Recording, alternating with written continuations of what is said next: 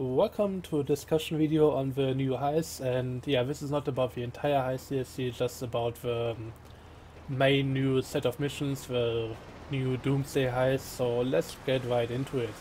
I've recently finished it uh, with a few people and also watched uh, another team uh, doing it on the stream, so um, yeah I've uh, got a few things to talk about and some of it um, is not only my opinion but also something I can echo from uh, with other people I've been playing with and again the people I've been watching so yeah let's get right into it uh, with some of the issues we encountered with this heist and most of it comes down to the writing and the dialogue. There seems to be a lot of uh, throwaway banter that doesn't really need to be in there. I think with the original heist it was a lot better, especially there was some great um, social commentary, some really sharp lines and uh, yeah, some of the things I they said I was almost applauding to because it was um, so great that they put that in. In this one, however, there may be a few decent lines, but a lot of times we were like, yeah, Lester, can you please shut up now? Or whoever is talking to us.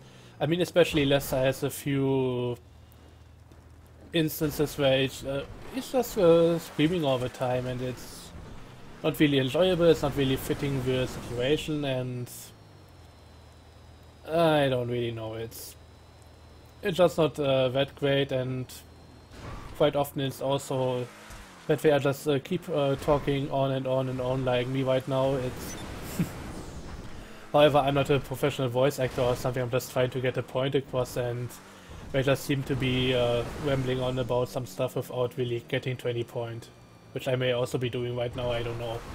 I've lost my train of thought there, but anyways.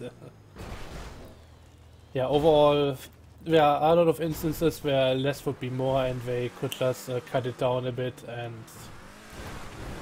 maybe try to get some better lines, some uh, some more fun stuff to say, something again a bit more interesting have a short mission briefing and then just uh, put some jokes in there or something like that.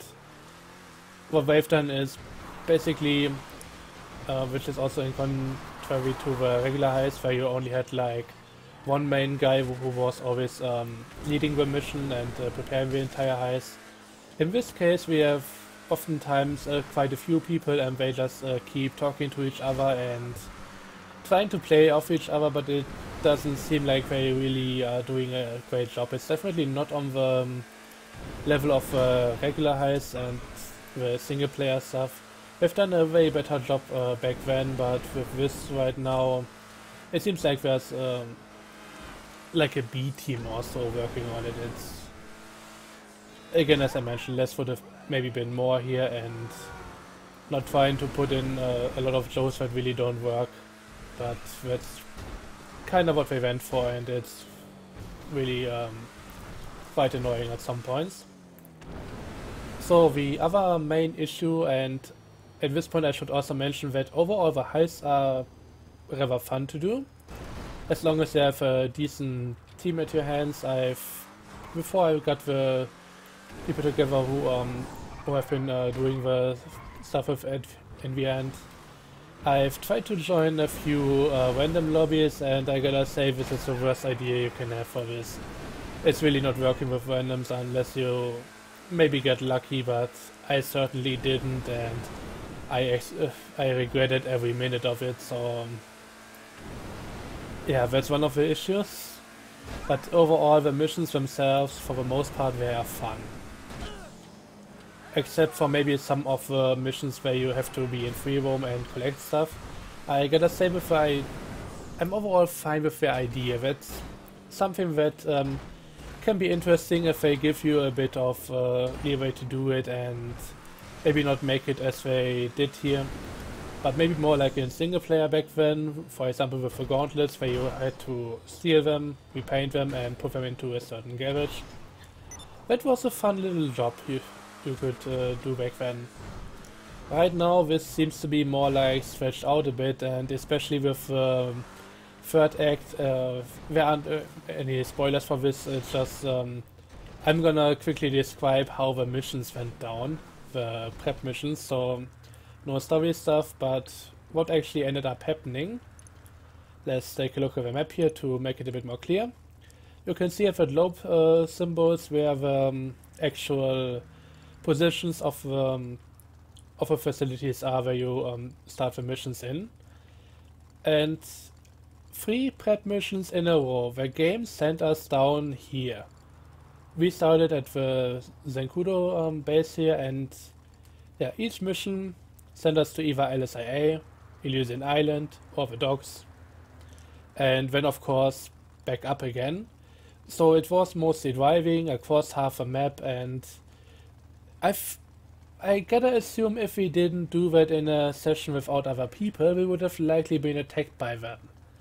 So, um, some of Rockstar's design when it comes to the missions is just so annoying, so egregious, because they just, uh, they're just trying to make the missions as much of a pain in the ass as possible by forcing you into public lobbies, likely with other people who will be more happy to do something uh, to mess with you than uh, just doing their own stupid thing. And yeah, with mission design like this, it's all just uh, around giving them enough time to really mess with you. So you have to go down here while fending off people who may be after you when you have to do a little thing uh, down here, which isn't really worth mentioning overall, it's just uh, collecting something or so, or um, yeah, not going to spoil anything here, but uh, yeah, when you have to go back up, and at that point you'll be definitely on the radar of anybody else, and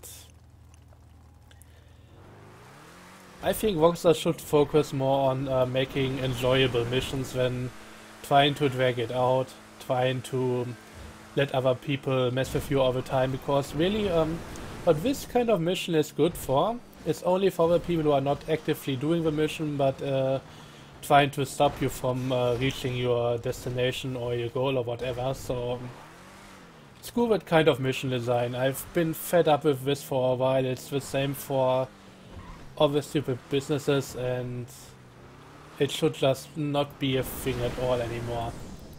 Just uh, get a better idea. Do something that's for the players and not uh, try to squeeze money out of people while giving them the most uh, shit experience in the game that you can uh, think of. So sorry, but that's something I think that ha just had to be said at some point. But yeah, overall, most of the missions are fine. With um, third act finale, I had a few issues, especially um, there are not going to be many spoilers here, especially not about the um, about the story again. But the one thing I really hated about that is that there is one big room, like a decently uh, sized uh, chamber, where you have um, like four spawn points for enemies on each uh, each uh, side of a of a thing, and it's really respawning the people over and over until you are done with your um, uh, with what you have to do in that um, and it's kind of sending you from one side to the other, back and forth, and this is just so damn annoying, especially since um, since the enemies are so damn bullet spongy. So that's something I really quite hate about the entire thing, and that I think should really be, be mentioned here. Even though again, no no bigger spoilers, but yeah, you will want to have some miniguns also because that's the only way to get them down effectively. Otherwise, otherwise you um, will have a hard time if you're doing that with regular machine guns or. Um, SMGs, stuff like that. So yeah, that was quite a pain to uh, get through and them just putting in a room where you have infinite respawn of enemies, it's just, it's annoying. Not uh, that great of a game design overall. Other than that, most of the other missions were definitely a lot of fun. We like them, especially with some of the vehicles. Although I gotta say, another thing is that there are right now so many special vehicles in the game and um, while I like that they try to put some of those in, at least the ramp buggy in one of the missions, not going to mention which one, when you get to it you will uh, definitely notice it. the ramp buggy has been so misplaced here, it should not be there, there should be different uh, vehicles to um, do the stuff you need to do there. And I also wish they would at least have tried to justify the existence of some of the vehicles, like the Deluxo, which isn't just a car anymore, it's um, other vehicle that can also just um, get airborne and fly away, uh, shoot missiles. It has machine guns and stuff, and in the first mission where you get them, the free roam prep, they are just regular vehicles. They don't seem to have anything special about them. They are just um, classic sports cars with um, with uh, iconic design and yeah. From the next mission on, um, while in first mission they don't even tell you why you need them. In the next mission they um, suddenly say, yeah, this thing can hover you don't know if they have been upgraded to hover by after you got them, or if they were that way um, beforehand, and stuff like that. It's just um, strange. It should at least uh, throw in a few lines about why these vehicles exist, why they are this way, and that would make a lot more sense. At least try to justify them because they really aren't anything you would expect in a GTA universe. Same thing with uh, Stromberg, which is another sports classic that can transform into a submarine. And apparently from how they set up a mission is that um, you have to get uh, four of them in free roam. And they are just uh, broken down versions that are being uh, transported on the back of some trucks. So yeah, apparently this thing is actually being uh, produced in a small um, in a small series at least. Otherwise, I couldn't see that scenario being anything uh, near uh, plausible, so are throwing in so much dialogue they could at least um, try to also justify that. But with uh, that stuff being said, let's now um, talk about the facility itself. This thing is another shoehorned in uh, paywall basically, and it's like most of the other things that Rockstar has done with uh, facilities it's empty. It's big, it feels dead, and you don't really do much with it. You have uh, this one room here where you can store some vehicles, like seven personal vehicles. This, this thing is actually filled up right now, believe it or not. I think some of the um, some of the tanks and other things could also go into the stuff here. Some other new vehicles would be um, going into the um, smallest one hangar. I don't know where you would park the Avenger. I think it would be somewhere in here, but overall, I think you could make um, better use of um, space and just have more things around here. I guess the Deluxo and Stromberg, since they are um, uh, of uh, of the size of regular vehicles, they are also likely um, just personal vehicles, so I don't think they are getting extra space here. But yeah, this thing is way too big for what it is. It's kind of annoying to get around. This could also have used some of the caddies or stuff like that from uh, from the bunker, so you could um, drive through this. And actually this thing, if it was made effectively, would, this would just have this room, which could also be a bit smaller, and then one room after that. But instead we've got, we got this uh, long corridor with a few additional additional things that you could add here, like a security room, which I haven't gotten because it's useless, like a room uh, you could set your spawn in, I haven't gotten because it's useless. Then we have our two receptionists, which I like that there are two here because uh, if there was only one in this giant empty facility, I would really feel like uh, they would uh, bore out, get lonely. So this way, uh, there are at least uh, two that can talk to each other, because the rest of this um, stuff here is basically empty. I mean, we've got a lot of uh, PCs here. We've got a recreational room uh, just to take a break or so. Didn't upgrade this because again it's useless. Didn't get the money incineration chamber or the orbital cannon thing, whatever you want to call it. I think my incineration chamber is uh, That's a decent name for that room because it's really nothing else. You can pay 900,000k to uh, then shoot a thing that uh, costs you at least 500,000k and why? Why bother? And finally we got the one other room that's actually useful and that's the heist planning room. For this thing, honestly, I don't see much of a reason why they couldn't have started it in in our main apartments. After all, Lester knows where it is. After all, we are working for a billionaire or I don't know how much uh, money that guy has, but he could have sponsored the entire damn thing. Instead, we have to buy it from our own money, getting a lot of useless upgrade options and yeah, as I mentioned, you may not even want to um, do grinding with it after all, unless you have a decent team for it. And even then, let's get to the payouts because they aren't great. The payouts really aren't anything to um, make this worthwhile. You can go for the experience if you uh, don't mind the um, yeah the uh, voice acting, dialogue, writing, direction, whatever you want to call it. I mean, the voice acting itself isn't bad, but I don't think they got the best direction and the best lines to say, but uh, that's hardly on their, on the voice actor's end. But overall, this stuff... the,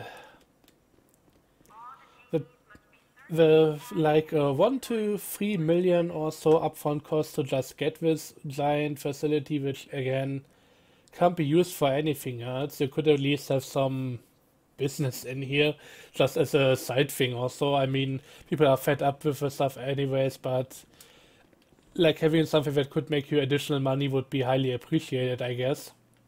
Or just uh, completely clean it out and have it as a really big um, vehicle storage uh, space. That would also be cool. But as it is, it's just something you have to walk through in order to get to the heist room if you want to host something. And as I mentioned, the payouts they aren't great. It uh, the last finale pays a bit more than the Pacific Standard has, but uh, first up with all the um, prep missions, which you could also skip by paying a lot of money, which would make it a lot worse actually. Uh, and the additional setups and stuff, um, it doesn't really seem to be worthwhile. Unless you're maybe doing it with fewer people, and I'm going to try it. I found somebody who is interested in that, and we are definitely going to at least see how far we can get with it. I'm not sure if we, as a two-player team, are actually going to be able to finish the entire thing. If that's the case, it may be really worthwhile. But with a four-player team, it's not that great.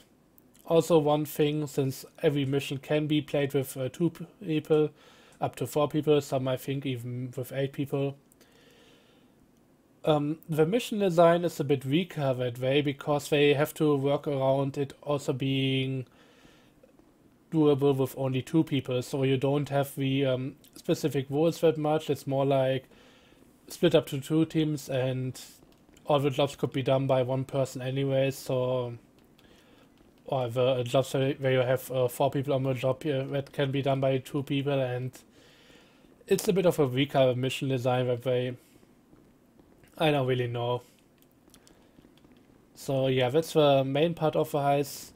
Overall, I think um, a lot of people will be happy with it since it just is adding something different. Heist is something that people have been asking for for quite a while. I was among those people since um, I think heist can easily be um, they can easily be a pain in the ass if you don't have a decent team for that. And while I enjoy it from every now and then I don't think this will be something that I'm going to be focusing on in the long run. Also, some slightly misplaced things here. Other, other ones are going over the gap. This is just being placed on one um, part here. This is also going into the middle of the um, gap between the glass panels and yeah, GG. I mean, it must be boring to um, place for storm, but uh, that's definitely a miss there. And this is supposed to be a door. Okay, enough about that detail. It's really not uh, worth talking about it so much, but um, yeah. So overall, um, that is uh, what I have to talk about for Heist, and maybe also in addition to that, I'm really wondering what the Mount Chiliad mystery people are thinking about this entire thing. They have been doing a lot in single player, trying to find the clues, uh, get everything together and now we just got an update that's just presenting everything on a silver tablet uh, for everybody. And unless they also added something to single player, which um, people can find out about and then also get the jetpack there, I don't really see uh, any benefit in the time that people have spent for that. And if I was uh, one of those guys, I, I don't know, I would feel um, I wouldn't feel great about it to say the least. So, I mean, some may be happy that they um, that uh, this is now solved and that we got the solution, but also that I think after um, Rockstar has been uh, putting in the um, these clues and things like that into the single player, they could have at least tried to get some of um, some of the doors and things, some of the hatches that you need for the heist, they should have put that in beforehand. Just something they could use later, and um, maybe they would have had to adjust the things um, later on, but at least they would have um, gotten the stuff because right now the solution to the Mount Chiliad um, mystery that has been just completely added in after the fact. So you could never solve it at the beginning of it, which um, I kind of assumed it would be the case because otherwise people would have solved it uh, quite a while ago. But again, they all um, try to find the clues, uh, try to see what's going on, and after um, after Rockstar decided it's finally time to reveal it, they are just uh, putting it on a silver tablet for everybody to see. So, and from that topic, I want to go on to the actual second topic, which will be very short. Uh, don't worry, I'm not um, going to spend like 20 more minutes about this. The um, Golden Revolver Treasure Hunt that has been added, which I think is quite a cool addition to the game. Really gotta applaud uh, Rockstar for that because this is just a fun little thing. You um, you are getting an email after some time in free roam, which will give you a location, and from that point on, you go to the location, you get some other locations being marked out. If you find them, you will get a final location where you will find the revolver. And that thing is pretty cool, especially with the animation if you put it away. Awesome. But the thing uh, that I don't like about it, and it's kind of going into the same uh, topic as with the Mount Chiliad mystery, everything is being uh, presented to you on a silver tablet. Because when you get the email, you get the location. It's a picture of a location and you should just be able to find it yourself. However, once you've activated the email, you will just get the location marked out on your map. So you can instantly go there, search around for the next clue, which will be something that doesn't make any sense. It's just a letter that says you will never find what you are looking for and will tore apart a family. That's everything that you get there, but you will um, then get uh, three more locations marked out on the map right away. So there isn't any clues to solve, nothing to really uh, look at and find out what's the meaning behind it. You then just have to go uh, to each of the um, locations, find something else, which again would normally not point you into any direction, but because uh, it's it's scripted that way, you will just get the final location marked on your map and it's just... I wish it was more uh, something to find out yourself and try to solve instead of just getting um, getting it handed to you like that. So a real treasure hunt after all with um, 50 uh, headshot M uh, with a 50 headshot challenge that can also be uh, uh finished against NPCs. That stuff gives you 250k uh, and for that I think we could have worked a bit longer. It would have made it a bit more interesting. And yeah, that's one thing I wanted to mention about it. Last thing is the um, Criminal uh, Enterprise Starter Pack, which uh, Monster is trying to shove down our throats more or less. We've seen advertisements um, in the loading screen all the time.